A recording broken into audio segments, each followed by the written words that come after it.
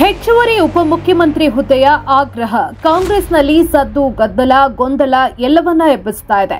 ಒಂದು ವರ್ಗ ಡಿಸಿಎಂ ಸ್ಥಾನಕ್ಕೆ ಆಗ್ರಹಿಸ್ತಾ ಇದ್ರೆ ಮತ್ತೊಂದು ವರ್ಗ ಡಿಸಿಎಂ ಸ್ಥಾನಕ್ಕೆ ಯಾವುದೇ ಕಂಟಕ ಬಾರದಂತೆ ತಂತ್ರಗಾರಿಕೆ ಮಾಡ್ತಾ ಇದೆ.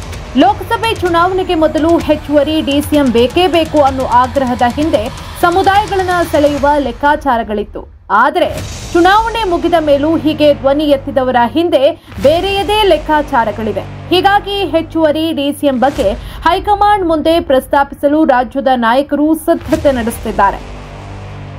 ಅಧ್ಯಕ್ಷರ ಬದಲಾವಣೆಗೆ ಸೂಕ್ತ ಸಮಯ ಎಂತ ಇರೋ ನಾಯಕರು ಹೆಚ್ಚುವರಿ ಡಿಸಿಎಂ ಬೇಡಿಕೆ, ಹಿಂದಿನ ಅಸಲಿಯತ್ತೆ, ಅಧ್ಯಕ್ಷಗಿರಿ ಬದಲಾವಣೆ ಅಂತಿದ್ದಾರೆ. ಸಮುದಾಯವಾರು ಡಿಸಿಎಂ ಹುದ್ದೆ ಸೃಷ್ಟಿಸಿ ಅಂತ ಇರೋ ನಾಯಕರು ಹೆಚ್ಚು ಡಿಸಿಎಂ ಕೇಳಿದ್ರೆ ಅಧ್ಯಕ್ಷ ಸ್ಥಾನ ಸಿಗ್ಲಿದೆ ಅನ್ನೋ ಲೆಕ್ಕಾಚಾರ ಇಟ್ಕೊಂಡಿದ್ದಾರೆ. ಈ ವರ್ಷದ ಅಂತ್ಯದಲ್ಲಿ ಸ್ಥಳೀಯ ಸಂಸ್ಥೆಗಳ ಚುನಾವಣೆ ನಡೆಯಲಿದೆ. ಅಷ್ಟರಲ್ಲಿ ಅಧ್ಯಕ್ಷರ ಬದಲಾವಣೆ ಆಗಬೇಕು ಅಂತ ನಾಯಕರು ಪಟ್ಟು ಹಿಡಿದಿದ್ದಾರೆ. ಒನ್ ಮ್ಯಾನ್, ಒನ್ ಪೋಸ್ಟ್ ಅನ್ನೋ ಅಜೆಂಡಾ ಮೂಲಕ ಡಿಸಿಎಂ ಡಿಕೆ ಶಿವಕುಮಾರ್ ಅವರನ್ನ ಕಟ್ಟಿ ಹಾಕಬೇಕು ಅನ್ನೋದು ತೆರೆಮರೆಯ ಕಸರತ್ತು.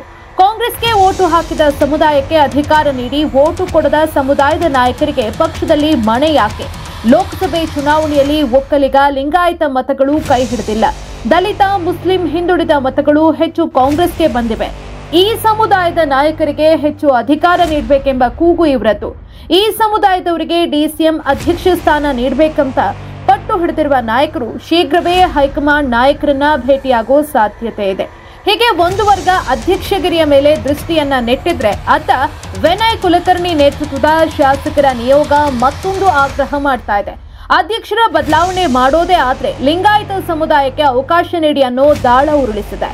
ದೆಹಲಿಗೆ ತೆರಳಿ ಹೈಕಮಾಂಡ್ ನಾಯಕರನ್ನ ಭೇಟಿ ಮಾಡಿರುವ ವಿನಯ್ ಕುಲಕರ್ಣಿ ಅಂಡ್ ಟೀಮ್ ಲಿಂಗಾಯತ ನಾಯಕರಿಗೆ ಮಣೆ ಹಾಕಿ ಅಂತ ದಾಳ ಹಾಕಿದೆ.